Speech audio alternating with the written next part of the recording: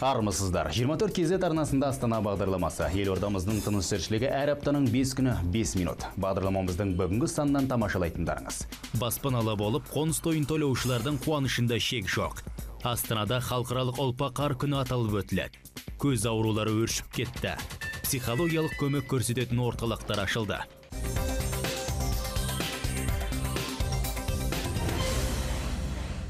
Астанада 5 жылдың ішінде 4,5 мыңнан астам отбасы жаңа баспанаға ие болды. Соның ішінде 1200-і халықтың әлеуметтік қорғалмаған топтарына жатады. Бұған қарамастан қалаға жыл сайын еліміздің өзге өңірлерінен 50 мыңға жуық адам келеді. Бұл бізді тұрғын үй құрылыс мәселесін жедел шешуге итермелейді деді қала әкімі. Қазіргі уақытта елордада тұрғын үйге кезекте 28438 адам тұр. Бұл халықтың әлеуметтік қорғалмаған топтары, әлеуметтік сала қызметкерлері, мұғалімдер, дәрігерлер және тағы да басқа. Жуырда мемлекеттік әлеуметтік серіктестік шеңберінде 10 құрылыс компаниясы 11 отбасыға бір және екі бөлмелі пәтерлер берді.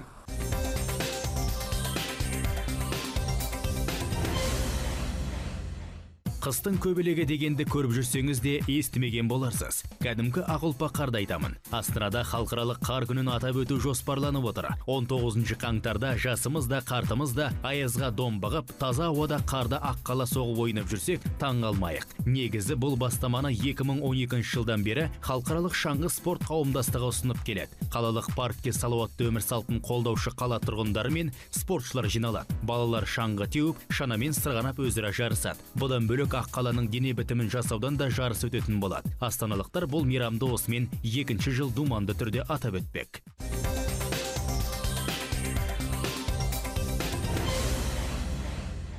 Күйбең тіршілік тынысынан қажығанда жүйкеңіз сыр бере ме? Астанада тұрғындарға психологиялық қолдау көрсететін орталықтар көптеп ашылуда сырт адамға сыр шашудан қорқасыз ба? Құпиялық сақталады уайымдамаңыз. Орталық мамандары былтырғы жылы төрт мың қоңырау қабылдапты. Олардың ішінде тағдырластар көп. Мәселен кикілжіңде өршітіп алғандар жалғыздықтан жабыққандар шешімсіз мәселелерге жігері жасығандар тағы да басқа. Мұң шағатын ерлер ме әлде әйелдер ме деген сұрақ сіздерді мазалап отырған шығар. Олардың жетпіс пайызы отыз елу жас аралығындағы әйелдер нәзік жандылардан бөлек жасөспірімдер де психолог мамандардың кеңесіне жүгінеді. Ол үшін бас қаламызда тоғыз жаңа денсаулық орталықтар ашылды. Аталмыш орталықтар тегін әрі тіркеусіз қызмет көрсетеді. Біздің дағдарыс телефонымыз тәулік бойы жұмыс істейді. Мұнда тәжірибелі мамандар жұмыс жасайды біздің сенім телефонымыз елу төрт жетпіс алты нөл үш. Осы телефон арқылы біздің қала тұрғындары тек қана қала тұрғыны емес басқа аймақтарда телефон шалып жатыр. Бұл енді көбінесе шалатын мәселелер көбісі отбасылық мәселе ретінде жеке басының мәселесі ретінде көп қоңырау шалады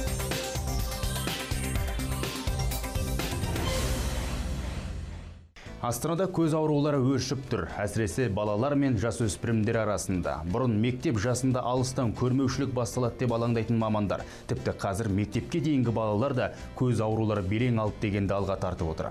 Оған себеп те жоқ емес. Бүгінде мектеп оқушысы былай тұрсын, балабақшаның тәрбиеленушілері де технологияға тәуелді. Балалар арасында сколиоздан кейін көз аурулары екінші орында тұр. Көп уақыттарын компьютер алдында ұялы телефонның мәзірінде өткізеді. Бояуы қанық ойын бағдарламалар қызықты мен мұндалап тұратын жаңа заман жабдықтары көздің жауы дейді офтальмологтар. Бізге ең кем дегенде жасы бойынша екі жастан келе бастайды балалар. Ә, ата аналар көбінесе тұқым қуалаушылық жағынан да алда ор, алдағы орын алады Ә, және де баланың ата аналарына байланысты ә, немқұрайлы қарағандықтан қазірден жас кішкентай ә, жасынан бастап компьютер қолдарына ұялы телефондарды ұстатады.